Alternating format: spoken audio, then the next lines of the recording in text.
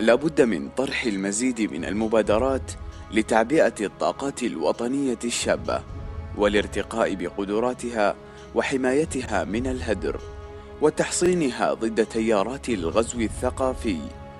مبادرات تستنهض فيهم قيم العمل ومبادئ الاعتدال والوسطية وتضع الشباب في صلب العملية التنموية والتنمية الاجتماعية التي ننشدها. ولن تتحقق دون تفعيل قوى المجتمع كافة. إننا نمتلك تراثا غنيا نعتز به وموروثا ثقافيا يكون هويتنا الوطنية التي نعتز ونفاخر بها. لسنا طارئين على التاريخ ولا غرباء عن الحضارة الإنسانية. إننا أصحاب هذا الجزء من العالم منذ آلاف السنين.